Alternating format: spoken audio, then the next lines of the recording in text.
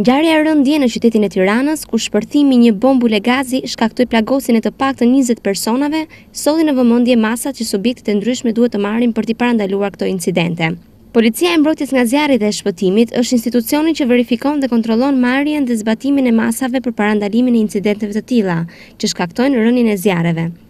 Zjarrfikësit bëjnë të ditur se ligji detyron gjithë personelin e shërbimit të magazinave, depove, hoteleve, spitaleve, shkollave e të tjerë që të trajnohen për masat e mbrojtjes kundër zjarrit. Njëkohësisht, pajisja e këtyre objekteve me sisteme sinjalizimi, sisteme ndërlidhje,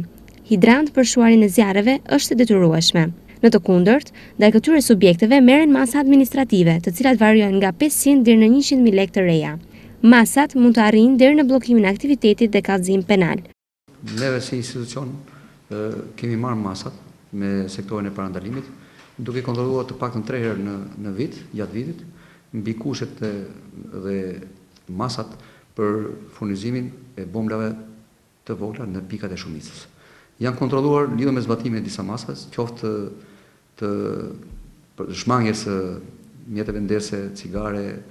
celularë, të gjithë ato që krijojnë domthënë.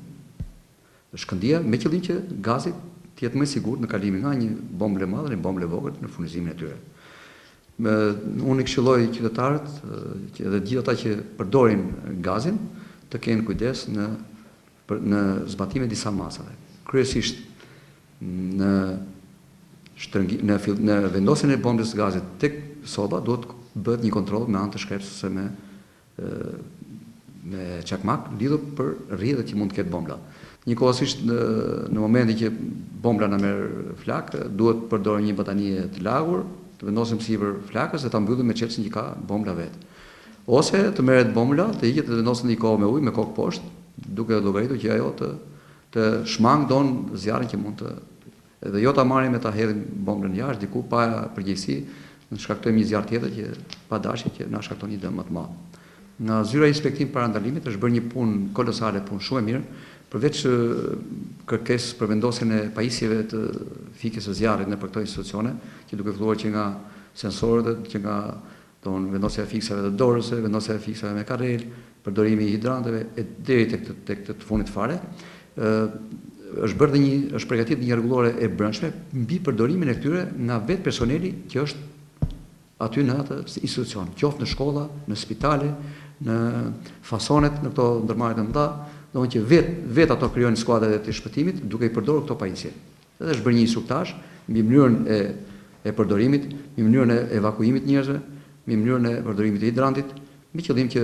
t'i paraprihet zjarrit dhe t'i jepet dhe kohë dhe zjarrfikëses që niset nga institucioni që është në vendngjarje për ta fikur zjarrin sa më shpejt.